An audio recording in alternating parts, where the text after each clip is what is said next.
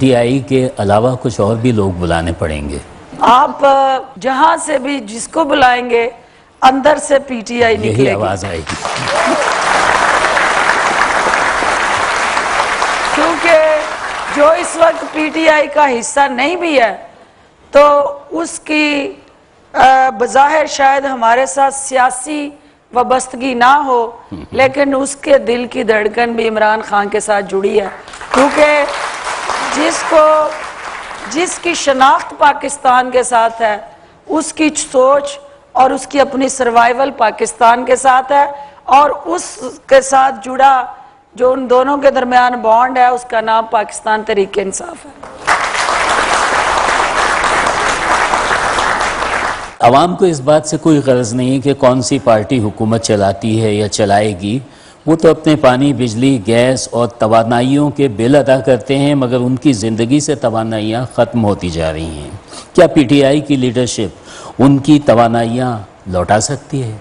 देखें, यही वो मिजरीज हैं, यही वो बिटर रियलिटीज हैं, यही वो गैप है between the implementation and policy maker आपकी पॉलिसीज़ जब से पाकिस्तान बना, आप इस कौम को हसीन ख्वाब दिखाने के लिए डॉक्यूमेंटेड पॉलिसीज़ ड्राफ्ट करके हर साल एक बजट की शक्ल में कौम के सामने लाते हैं। कोई भी हुकूमत है जब से पाकिस्तान बना है ऐसा ही हो रहा है। लेकिन प्रॉब्लम कहाँ आ रही है जहाँ आपको ग्रा, ग्रास रूट लेवल पे इम्प्लीमेंटेशन करनी है?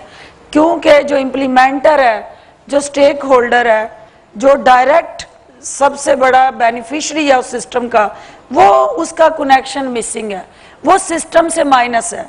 तो यही पाकिस्तान तरीके इंसाफ की जदोजहद है कि जो रियल स्टेक होल्डर है ग्रास रूट लेवल पे आम पाकिस्तानी, उसको शनाख्त देनी है।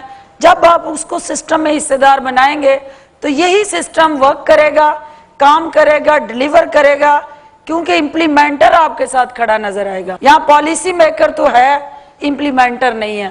तो इम्प्लीमेंटर ये लोग हैं, इन्होंने आगे बढ़ना है। तो आप वो तमाम जो ज़रूरियात ज़िंदगी हैं, आम इंसान की, आम बंदे की। इन्होंने हिस्सेदार बनना है तो वो आपको निचली सतह पर ट्रांसफ़र होती नज़र आएँगी।